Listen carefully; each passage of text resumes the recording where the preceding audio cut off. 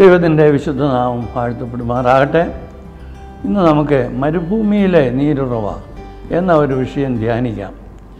നമ്മൾ ഉൽപ്പത്തി പുസ്തകത്തിൽ ഇങ്ങനെ വായിക്കുന്നുണ്ട്. എന്റെ ഇരുപത്തിയൊന്നാം അധ്യായത്തിൽ അബ്രഹാമിന്റെ ഭവനത്തിൽ നിന്ന് തന്റെ ദാസിയെ ഇറക്കി വിടുന്നു. അബ്രഹാം അവൾക്ക് അല്പം അപ്പവും ഒരു തുരുത്തി വെള്ളമൊക്കെ കൊടുത്താണ് വിടുന്നത്. അവൾ അവളുടെ കുഞ്ഞിനെയും എടുത്തുകൊണ്ട് മരുഭൂമിയിലേക്ക് പോയി. ആ മരുഭൂമിയിൽ അവൾ എത്തിച്ചേർന്നു. ചില ചുരുങ്ങിയ സമയത്തിനകത്ത് അവളുടെ തുരുത്തിയിലെ വെള്ളം വറ്റി മരുഭൂമിയുടെ ചൂട് സഹിക്കാവതായി തീർന്നു. കുഞ്ഞിന്റെ കരച്ചിൽ അസഹ്യമായി. അവൾ നോക്കി ഒരു രക്ഷയുമില്ല. മരണമല്ലാതെ മറ്റൊന്നും കുഞ്ഞിന് കാണുന്നില്ല. അപ്പം തീർന്നു വെള്ളം തീർന്നു. എല്ലാം തീർന്നപ്പോൾ അവൾ ഏറ്റവും ഒടുവിൽ കുഞ്ഞിനെ ഒരിടത്ത് കിടത്തി മാറിയിരിക്കുകയാണ്. കുഞ്ഞിന്റെ മരണം എനിക്ക് കാണണ്ട എന്ന് അവൾ ആശിച്ചു. എന്നാൽ ദൈവത്തിന്റെ ആ കൃപ അവളിൽ ജനിക്കുകയും ദൈവം അവളുടെ കണ്ണുകളെ തുറന്നപ്പോൾ അവൾ കാണുന്നത് അവൾക്ക് വേണ്ടി ഒരു നീരുറവയാണ്.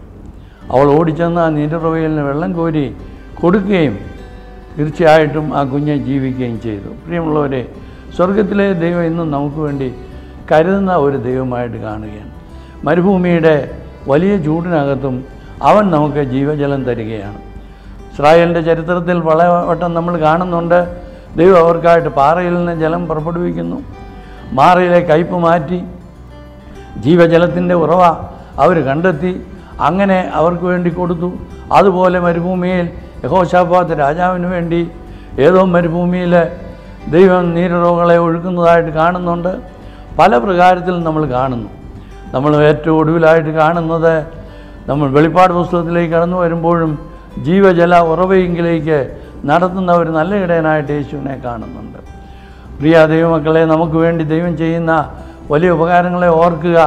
ഈ ലോകത്തിന്റെ ചൂടിൽ നാം നശിച്ചു പോകാതിരിക്കേണ്ടതിന് പാപച്ചൂടിൽ തകർന്നു പോകാതിരിക്കേണ്ടതിന് ഇതാ മറുവശത്ത് ക്രിസ്തുവാകുന്ന ഒരു വലിയ ജലസംഭരണി നമുക്ക് വേണ്ടിയിട്ടുണ്ട്. ആ ജലസംഭരണിയുടെ അടുത്തേക്ക് കടന്നു വന്നാൽ നമ്മുടെ ദാഹം തീരും. നമുക്ക് ആവശ്യമായ ജലം കുടിച്ച് നമ്മൾ ജീവജലത്തിന്റെ ഉറവകളുടെ അടുത്ത് ആ നല്ല ഇടയനാൽ നടത്തപ്പെടുന്ന ഒരാ ആട്ടിൻകൂട്ടമായി തീരുവാനിടയായി തീർന്നു ദൈവം ഇന്ന് ഇതാണ് ആഗ്രഹിക്കുന്നത്. നാം ഈ മരുഭൂമിയിൽ അലയരുത്. ഈ ലോകത്തിന്റെ വഴികളിൽ കൂടെ പോയി നശിക്കാനിടയാകരുത്. അതുകൊണ്ട് പ്രിയമുള്ളവരെ ഇന്ന് നമുക്ക് മടങ്ങി വരാം. ദൈവശബ്ദം കേൾക്കാം. നമ്മെ വിളിക്കുന്ന ആ കർത്താവിലേക്ക് കടന്നു വന്ന കർത്താവേ എനിക്കും കൂടെ നിന്റെ ആ ജീവജലം തരണമേ എന്ന് പ്രാർത്ഥിച്ചാൽ ഇന്ന് ഹാഗാറിനെ തൃപ്തിപ്പെടുത്തിയ ദൈവം നമ്മയും തൃപ്തിപ്പെടുത്തും. അതിന് ദൈവം നമുക്ക് കൃപ തരട്ടെ.